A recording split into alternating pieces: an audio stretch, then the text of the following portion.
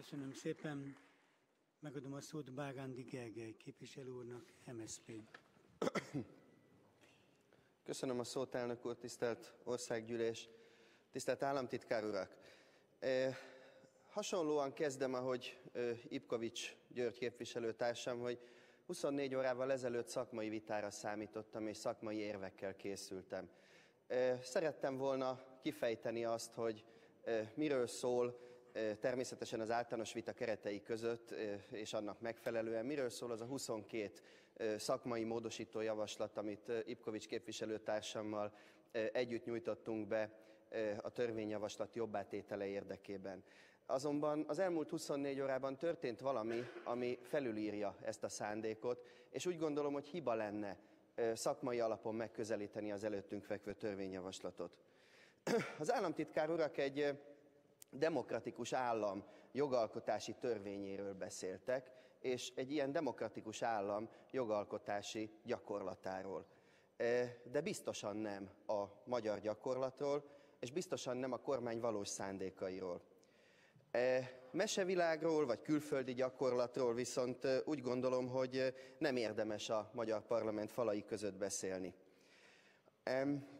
Érdekes lenne persze megvizsgálni azt, és erre fogok is egy kísérletet tenni a részletes vitáig, hogy vajon van-e olyan rendelkezése az előttünk vekvő törvényjavaslatnak, amit az elmúlt néhány hónapban a kormány, illetve a kormánypártok betartottak volna. Nem az, hogy van-e olyan, amit nem, hanem a kérdés úgy merül fel, hogy van-e esetleg olyan, amit betartottak. Talán találunk majd ilyeneket is. Rétvári államtitkár úr rezzenéstelen arccal beszélt arról, hogy milyen nagy szükség van a társadalmi egyeztetésre. Én azt gondolom, hogy az önök elmúlt időszakának a gyakorlata után ez hiba egy államtitkártól, és nem erényének értékelhető, egy pokerjátékosnál feltétlenül, hogy a rossz lapok esetén is tud ugyanolyan arccal beszélni és ugyanúgy viselkedni, mint hogyha jó lapjai lennének. Itt azonban nem erről van szó. Arról van szó, hogy önök folytatnak egy olyan gyakorlatot, és államtitkár úr is részese annak a gyakorlatnak, eh, amelynek például eleme az, hogy három hónap alatt akarják ledarálni az új alkotmány koncepcióját, társadalmi és szakmai vita nélkül. Eh, része az, hogy az elmúlt időszakban, amikor szóvá tettük, hogy az önök által beterjesztett javaslatoknak nem volt társadalmi vitája, akkor önök ezt nem tagadták, hanem azt mondták, hogy ilyen nem kell. És azért nem kell, és nincs szükség rá, mert önöket erre a fülkeforradalom felhatalmazza. A fülke forradalomban már ezekre a, ezekről a kérdésekről véleményt nyilvánítottak az emberek, ezért a konkrét törvényjavaslat társadalmi vitára bocsátása szükségtelen, hiszen önök azt kodifikálják, amit a fülke forradalomban az emberek követeltek. Lázár János is tegnap erre utalt egyébként. Elképesztőnek tartom államtitkár urak, azt meg még inkább annak tartom, hogy önök társadalmi vitáról és annak az erényeiről beszélnek, amikor egyébként ilyen gyakorlatot folytat a kormányuk és az önök pártjai. E, hadd kérdezzem meg államtitkár urakat, hogy amikor az Alkotmánybíróság döntésének tegnapi bejelentése után Lázár János körülbelül egy órával később kiállt, és azt mondta, hogy benyújtják újra a törvényjavaslatot majd benyújtják azt a törvényjavaslatot is, amely az Alkotmánybíróságnak a hatásköreit nyírbálja meg, majd benyújtják azt a javaslatot is, ami a népszavazási lehetőségeket csökkenti, a népszavazási tárgyak körét szűkíti, akkor vajon egy óra alatt kivel egyeztették ezt le? Milyen társadalmi szervezetekkel és milyen szakmai szervezetekkel? Kik értettek ezzel egyet, és kik nem? Államtitkár úr, Miért beszélnek társadalmi vitáról akkor, amikor ilyen nincsen az önök gyakorlatában? Ez nem létezik. És azt is hadd kérdezzem meg, hogy e, miért írják akkor le mindezt a törvényjavaslatban, hogy ez szükséges? Tudják, a diktatúrában szokás az, hogy e, van szép alkotmány, szép elvekkel, vannak törvények is, csak e, éppen bolondnak nézik azt, aki hivatkozik rájuk. Önök ezt csinálják, ezt a gyakorlatot folytatják. Mi is az önök gyakorlata, a jogalkotási gyakorlata? Mert egy extrém példát már kiemeltem. Nézzünk mást. A kormány és inkább ezt kéne kodifikálniuk, ha a saját gyakorlatukról beszélnek. A kormány csak kivételes esetben nyújt be törvényjavaslatot. Akkor sem egyeztet, hanem a fülkeforradalomra hivatkozik, ami felhatalmazást adott rá. A legfontosabb törvényeket, tisztelt Fideszes képviselőtársaim, e, képviselő önálló indítványok formájában nyújtják be, és nem egy esetben, most már ezt precedensnek lehet nevezni, egy nap alatt, a benyújtás napján, házszabálytól eltéréssel, egy gyorsított vitában, még aznap elfogadják. Hát itt persze értelemszerűen kizárt a társadalmi vita, mert ez néhány óra alatt nem megvalósítható. Ha mégis van a parlamenten belül vita, és nem egy nap alatt akarják ledarálni a fontos törvényjavaslatukat, és ez a parlamenti vita kellemetlenné válik az önök számára, akkor ügyrendi javaslattal lezárják, és belefolytják az országgyűlési képviselőkbe a szót. Ez is az önök gyakorlata a jogalkotás során. És hát legutóbb ugye most azt tapasztaljuk, hogy ha bárki szót emel az elképzelésükkel szemben, akkor erre az a válaszuk, hogy a kétharmad birtokában azzal visszaélve elvonják a hatáskört, és móresre tanítják azt az államhatalmi szervet, azt a hatalmi ágat, amelyik mert önökkel szembe menni. Hadd kérdezzem meg, hogy ha ez a gyakorlatuk, akkor miért vacakolnak egy ilyen bonyolult szabályozás megalkotásával? Amit elmondtam, az egy oldalon elfér, egy oldalban összefoglalható, és legalább a valóságot tükrözi, tisztelt képviselőtársaim, tisztelt államtitkár urak. Komolyan kérdezem, és komolyan szeretnék erre választ kapni.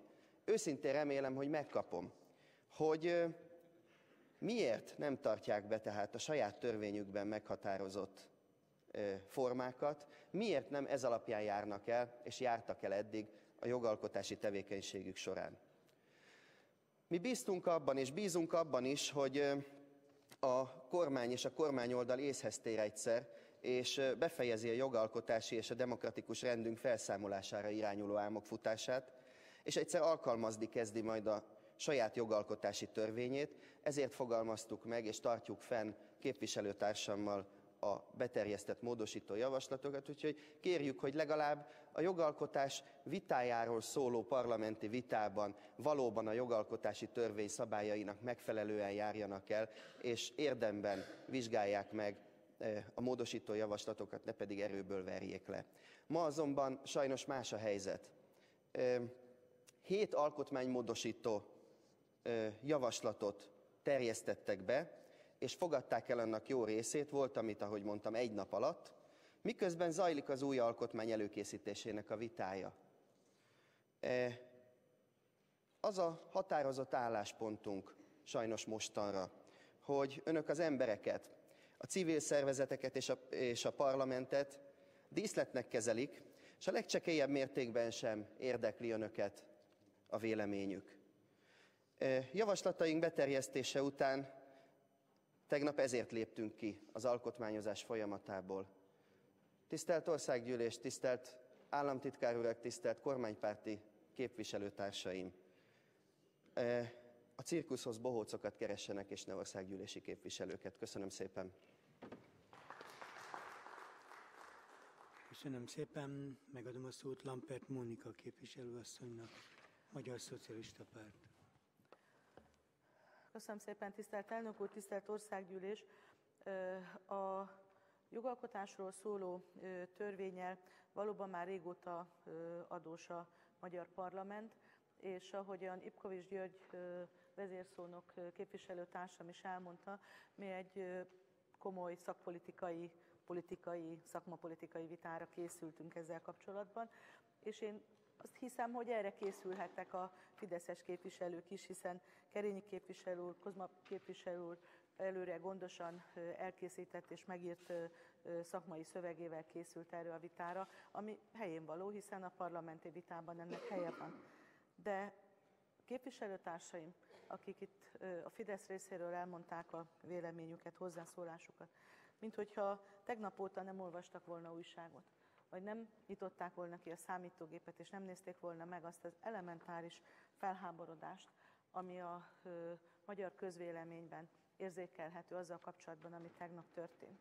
És én azt hiszem, hogy erről nagyon csöndes, higgadt, nyugodt szavakkal kell beszélni, mert egy ilyen skandalum, ami tegnap történt, az, amit Lázár János frakcióvezető úr nyilván Orbán miniszterelnök megbízásából előadott tegnap, az minden, csak nem az, amit önök most itt leírtak törvények előkészítésével kapcsolatban. Teljesen más csinálnak, mint amit benyújtottak, és mint amiről itt beszélnek. Valami hihetetlen ö, cinizmus kell ahhoz, hogy elmondják az államtitkár urak úgy a, az expozét, hogy ők is tudják, hát okos, fölkészült ember mind a kettő, nem akarok maguknak ártani, de hát mégiscsak ezt kell mondjam, itt vagyunk néhány éve már a parlamentben, hallottam már az önök szakmai, szakmapolitikai megnyilvánulását, pontosan tudják, hogy abból, amit elmondtak, egy szó nem igaz. Egy szó nem igaz. Amikor Szakács Imre elmegy a pulpitusra, és vezérszónokként elmondja mindazt, amire előre készült, és odaért ahhoz a részhez, hogy hát ebben a törvényben azért mégiscsak a jogszabályok visszamenőleges hatálynak tilalmát bele kellene írni, akkor így kétszer megrebben a szeme. És én tudom, hogy miért. Hát ő is itt ült ebben a parlamentben, és megnyomta a gombot, meg a többiek is, amikor önök pontosan tudták, hogy az a törvény, amit az Alkotmánybíróság most megsemmisített, a visszamenőleges hatály tekintetében az alkotmánysértő. Hát megmondták az önök jogászai is, nem itt a parlamenti plenáris ülésen, de megmondták, tudomásom van róla. És most mégis elvállalják ezt a szerepet. Hát mi lehet az a hihetetlen erős indok, ami azt támasztja alá, hogy ezt fel kell vállalni, és itt képzett jogászok létükre ezt a színházat, ezt a színjátékot el kell játszani. Leírtak most egy törvénytervezetben egy szándékot, hogy hogyan kellene a jogszabályokat előkészíteni, közben ebből egy szó nem volt igaz az elmúlt időszakban. Úgy hoztak be alkotmánymódosítást, a hétből hatot biztosan, hogy arról még a koalíciókon belül sem tudtak egyeztetni, nem hogy társadalmi szervezetekkel, alkotmánymódosításról. Hát tanulja voltam az Alkotmányügyi Bizottságban, amikor hétfőn reggel 10 órakor Mátrai Márta képviselő asszonya közölte az illetékes Fideszes, hogy ő lesz a benyújtója annak az alkotmánymódosításnak, amiben belerejtették azt, hogy, a, hogy, hogy kiveszik a, azt a szabályt a Magyar Köztársaság alkotmányából, hogy négy-ötöddel lehet csak alkotmányt módosítani. A képviselő az, hogy maga sem volt pontosan tudatában annak, hogy mi az, amit ő aláír. És még írógéppel vagy számítógéppel még oda volt írva Lázár János neve is, de hát nem volt elég idejük, hogy Lázár urat elérjék, és ő aláírja, ezért csak Mártai Márta nevén futott ez a, az indítvány. Legyenek hálásak a képviselő asszonynak, hogy a, a pártpolitikai hűsége erősebb volt, mint a képviselői esküje is elvállalta ezt a szerepet. És egyébként ez sokukra igaz. Mert amikor tudták, hogy alkotmány sértő, képviselő úr itt csóválja a fejét, a jogász kollégák, van, van olyan, akitől tudom, tőle személyesen, de nem fogok insinuációt elkövetni, nem mondom a nevét, hogy tudták, hogy alkotmánysértő a visszamenőleges ö, ö, hatályú jogalkotás. Tudták. Tudták előre, hogy ezzel ilyen problémák lesznek, csak azt gondolták, hogy azzal a két általuk megerősített új alkotmánybíróval el, tudják, el tudnak érni majd esetleg valamilyen másik eredményt. Tudták, és mégis a pártpolitikai elkötelezettségük a Fideszhez erősebb volt, mint a képviselői esküjük, mert hogy a képviselői eskü arról szól, hogy a jogszabályokat megtartom és megtartatom. Aztán a társadalmi egyeztetésről, a társadalmi ö, ö, részvétel a jogszabályokban való előkészítésről. Most alakítják át úgy a közigazgatást, annak az egyik részét, az államigazgatási részét, ami szorosan függ össze természetesen az önkormányzati igazgatással. Egymás között már nyíltan beszélnek arról, hogy hogyan fogja az önkormányzatoktól egy tolvonással elvenni a közoktatás